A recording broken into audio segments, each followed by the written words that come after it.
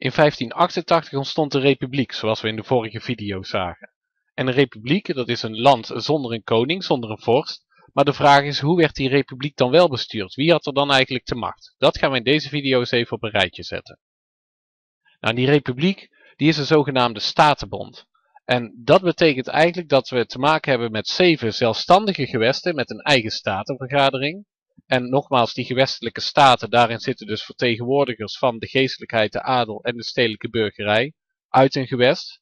En uh, ja, die beslissen ze over wetgeving, rechtspraak en belastingheffing. En dat was iets wat uh, de, ja, de Nederlandse gewesten eigenlijk altijd al hadden gehad. Zowat Holland dus, um, ja, eigenlijk zijn eigen wetten, zijn eigen rechtspraak en die hief voor zichzelf belasting. En dat gold ook voor Zeeland, voor Friesland, voor Groningen en voor al die andere gewesten. Eigenlijk zeven kleine mini-landjes dus, zou je kunnen zeggen. Zeven kleine mini-staatjes. Maar waarom vormen ze dan toch samen de republiek? Waarom zijn het dan niet gewoon zeven aparte staten, zeven aparte landen? Nou, dat heeft ermee te maken uh, met het feit dat uh, die zeven gewesten wel met elkaar samenwerkten in de Staten-Generaal. Er werden dus vertegenwoordigers uit Holland, Zeeland, Friesland en die andere gewesten gestuurd naar die Staten-Generaal. En daar bespraken zij zaken die alle gewesten samen aangingen. En dat waren bijvoorbeeld uh, de buitenlandse politiek. Heel belangrijk natuurlijk, want die Nederlandse opstand is nog steeds bezig. En dan moet je zowel goed met Spanje bezig zijn, maar ook bondgenoten zoeken in die strijd. En het tweede ding waar die Staten-Generaal zich mee bezighoudt, uh, is de oorlog en de defensie. Natuurlijk ook heel belangrijk in die tijd van die Nederlandse opstand. Het zou bijvoorbeeld niet opschieten als Groningen apart vrede zou gaan sluiten met Spanje. Nee, dat doen ze dus allemaal samen in die Staten-Generaal. En een laatste taak die er later bij de Staten-Generaal bij komt, een laatste belangrijke taak in ieder geval, is het bestuur over de zogenaamde generaliteitslanden.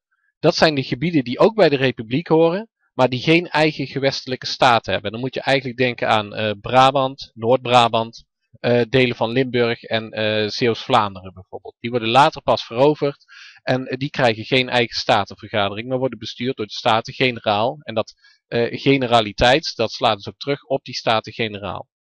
Nou, en dit is dus hoe een statenbond werkt. Eigenlijk net zoiets als de Verenigde Staten van Amerika nu nog zijn. Daar heb je ook uh, 50 verschillende staten die allemaal hun eigen wetten en regels hebben, maar naar het buitenland toe met één mond praten. En dat is dus eigenlijk wat uh, de Republiek in die 17e eeuw ook gaat doen.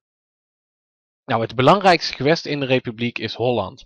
Want uh, dit kost natuurlijk allemaal enorm veel geld. Zeker die 80-jarige oorlog.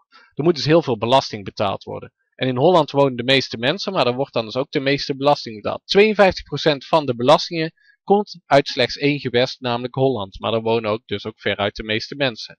Dus Holland is het belangrijkste gewest. Alleen dat betekent niet dat de zin van Holland zomaar kan worden doorgedreven in die Staten-Generaal. Nee, er kunnen alleen beslissingen worden genomen met inspraak van alle gewesten samen. Nou is het natuurlijk wel zo dat Holland in die Staten-Generaal toch wel een machtige positie had. En uh, dat hebben ze in de vorm van de zogenaamde landsadvocaat. Later wordt dat de raadspensionaris genoemd. Uh, wat is dat dan? Um, nou, dat is de hoogste ambtenaar van het gewest Holland. En dus ook de woordvoerder van het gewest Holland in die Staten-Generaal. En omdat Holland het uh, belangrijkste gewest is, ja, dan luisteren de andere mensen wel in die Staten-Generaal als de woordvoerder van Holland aan het woord is. En daarom zal die landsadvocaat ook namens de Staten-Generaal de onderhandelingen met het buitenland voeren. De landsadvocaat is dus de vertegenwoordiger van de republiek in het buitenland. De eerste landsadvocaat is deze man hier, Johan van Oldenbarneveld. En die zullen we later nog tegen gaan komen. Hij is eigenlijk een van de uh, architecten, zou je kunnen zeggen, van het succes van die republiek in het begin. Hij is een van de mensen die ervoor zorgt dat die republiek kan blijven bestaan.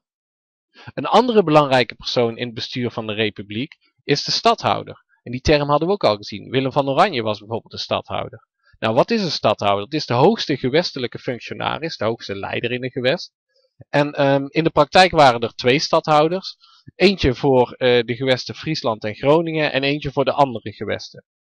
Nou, wat doet een stadhouder verder? De stadhouder wordt eigenlijk de leider, leider van het leger en de vloot, de opperbevelhebber. Dus hij is heel belangrijk in de strijd. Hij is eigenlijk de militaire leider. En daarnaast mag een stadhouder ook van oudsher stadsbesturen benoemen. En um, dat is stiekem toch ook wel een belangrijke functie, omdat die stadsbesturen en die steden, die hebben natuurlijk behoorlijk wat te zeggen in die republiek. Nou, een uh, belangrijke stadhouder is uh, de opvolger van Willem van Oranje. Dat is Maurits van Oranje, familie uiteraard. En um, deze twee personen, Johan van Oldenbarneveld en Maurits van Oranje, die leiden eigenlijk samen de republiek naar haar eerste successen.